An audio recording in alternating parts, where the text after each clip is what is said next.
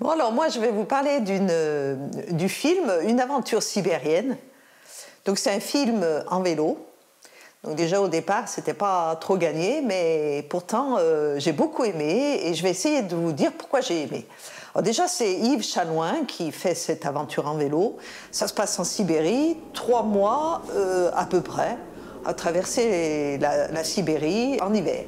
Yves, euh, eh ben, c'est pas un tout jeune homme, et je pense que ça c'est important parce que, dans ce film, ce qui m'a plu, c'est que c'est un mélange de, choses très concrètes, la, préparation du, voyage, mais aussi euh, des réflexions euh, personnelles, des recherches de pourquoi je fais ça, des, analyses sur les, concepts d'aventure, de voyage, et je pense que Yves, du fait de son âge un peu avancé, il a de l'expérience et du coup ça se ressent dans son, dans son commentaire.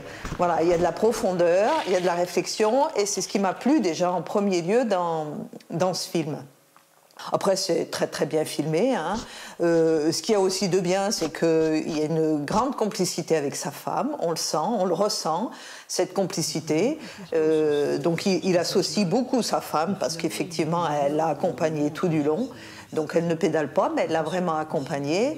Et, Yves est très, Il y a beaucoup d'humilité dans, ce qu'il dit. C'est un bon conteur aussi, quelquefois. Il raconte des, anecdotes. On a vraiment l'impression d'être à, côté du feu avec lui. Euh, il nous raconte ses, petites aventures. C'est vraiment très agréable.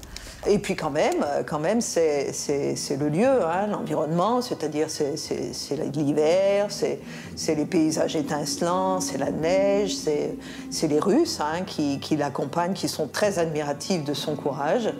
Euh, c'est ça aussi, hein, c'est son courage, ses difficultés.